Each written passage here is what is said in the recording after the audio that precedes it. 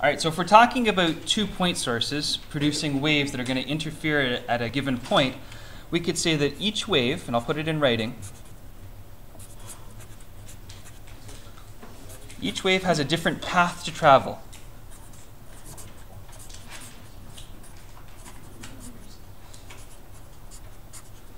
I could even say a different path length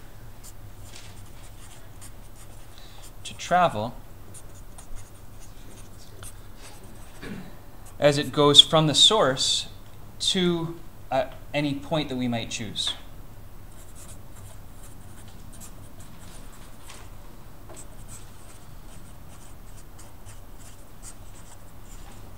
To a chosen point. Okay. Now you got to you got to decide how you're going to define where that point is. So frequently people will talk about how far the point is away. Um, well, I'll draw a picture because sometimes pictures are more expressive than words. So we could talk about our two sources, source 1, source 2, and of course, one defining measurement of these two sources, as you saw earlier with the two overhead transparencies that got slid back and forth relative to one another, one defining feature is clearly going to be how far apart are these two values, or these two uh, sources, and I'll label that distance d. Okay? Um, and if I choose a point, point P, a nice convenient spot to choose uh, for measuring distances isn't the distance between source 1 and point P. It's not even between source 1 and point P, but if we choose a point that's halfway between them, we can talk about the distance between that midpoint between source 1 and source 2 and point P. And we might label it up as a distance L. Okay? So we'll say that that point is L meters away from the two point sources that are side by side. Okay? Um, we could even talk about creating a triangle here. So we could make a triangle that connects S to P and S to P, S1 to P and S2 to P. And then some people in this approach say, hey, look, I like right angle triangles. So let's define a right angle triangle like this where this is a right angle triangle. And I'm sorry that my diagram isn't perfect. And just for fun, we can call this point A. So we've got some geometry here. I'm sorry, this is just geometry. Now we could also define a normal. And I'm going to do it in a different color, red. And if we define the normal to be at right angles to a line that might connect source 1 and source 2, sorry, I feel like I'm just talking like lines and line segments and stuff like that. You, well, let's make sure we got everything. The dotted line is a line that's just perpendicular to a line, an imaginary line if you like, that connects source 1 and source 2. And we'll call that the normal. Okay? It's the normal. Much like the normal we might talk about in optics for reflection and, and, uh, and transmission in refraction. We've got a normal perpendicular to the imaginary line connecting source 1 and source 2. Now, the line that we defined as having a length L can get described as having a length L and have a direction that's described as being an angle theta relative to the normal. Okay?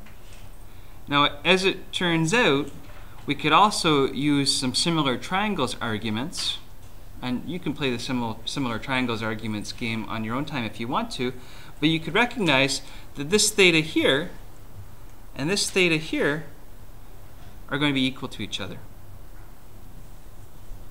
I'm not going to label it as theta, it'll just make the picture a little bit messier. But those two angles that I, have uh, drawn the little curvy angle label thing for would be the same angle. Okay. Now what we've said before is that for destructive interference to occur, we would be talking about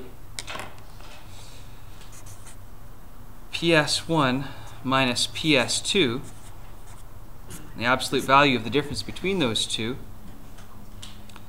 And if I look at these two and I, I look at this triangle that we've created here, the green triangle, I should say, the big green triangle, connecting S1 to P and S2 to P, I know that I, I've, well, we can say that we've defined these triangle, this triangle as having this length here and this length here being equal. So length AP and length SP would be equal in length. Okay? If AP and SP are equal in length, then that means that as the wave traverses from A to P, and as the wave traverses from S to P, there's not going to be any additional phase shifting that occurs. All the phase shifting has, has to happen in this triangle between source 1 and point A is defined by this geometry, right? Because that's the, the extra length that a wave traveling from source 1 has to travel. Okay? So what we could say is that PS1 minus PS2 absolute values would have to be, the difference between them would have to be equal to AS1, the length of, of the line defined by AS1. Okay, that's the difference in those line segments lengths would be AS1, A to S1. Okay? Now, I'd, I'd, like to take a look at the second triangle, and I'd like to say, hey, look, using sine, uh, sine ratios, I could say that sine of theta is equal to absolute value of AS1, that's the length of the, the line segment AS1, divided by D. Adjacent over hypotenuse, sorry, uh, opposite over hypotenuse okay? Because that theta there and that theta there are going to be the same theta. Now, I want to label up some, some equations here. So I would like to call this guy equation 1, and I'd like to call this guy equation 2, and we're going to do some substitution. I'd like to sub in equation 1 into equation 2. Okay. Yeah? Um, I don't understand why the perpendicular line A, S2 Yeah. from S1 to P. I don't know, like if the if P was in a different place, a perpendicular line from PS1 would not Okay. necessarily go from S2. Yeah, you're right. Yeah. So we're, we're, we're actually talking about a specific scenario, A, where the, the length here is much bigger than D. Um, so there's a limit issue here. And there's, although that, that's not necessarily going to affect us, but we're also talking specifically for destructive interference. So I, I can come back and I can visit the, the geometry issues in a minute. I just want to go through the, the equation derivation first, okay? I A prom- to midpoint of PS1. Sorry? It's A to midpoint of PS1. No, it's not. It's not. A midpoint. No. It's a it's not a perpendicular bisector or anything like that. Okay? Yeah. What makes AP equal to uh, PS1? Because I again I, I'll come back to the geometry if we want to at the end, okay? The line would have to be right angle to the to the um to the, the outline for those two to be equal, not at a right angle. Okay. We'll come back and we can visit it. I promise. So we get x sine of theta equals path length difference PS1 minus PS2 over D. Good. Not trying to play any tricks here, and I don't want anybody to be misled. Okay, so I, we can come back and we can talk about the geometry afterwards.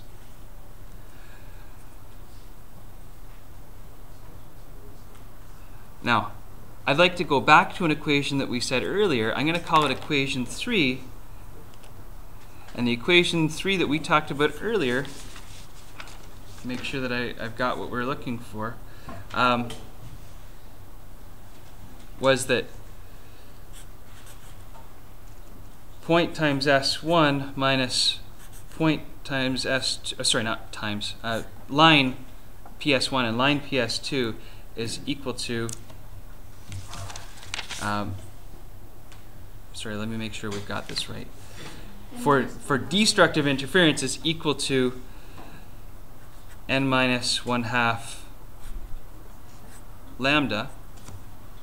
And now I'd like to sub this equation 3 into this expression, and you end up getting, for destructive interference, sine theta equal to n minus 1 half lambda.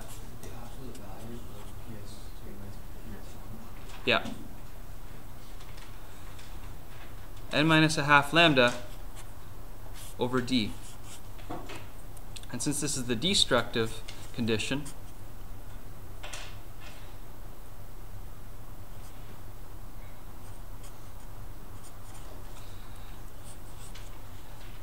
is also going to be our destructive condition.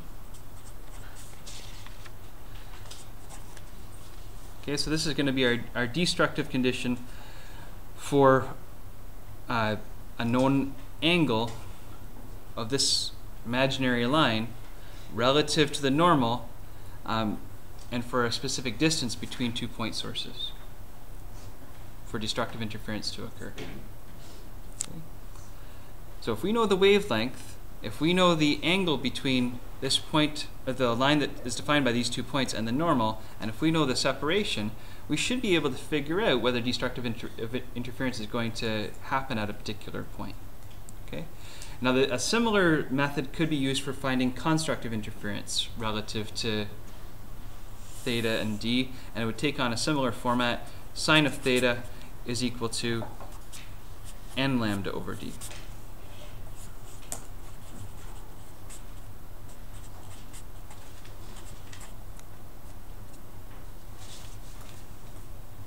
Okay.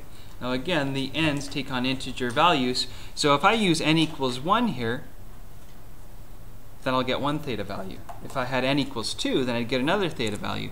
So we'd say that theta is going to be n dependent, so we're going to put a subscript there on the theta.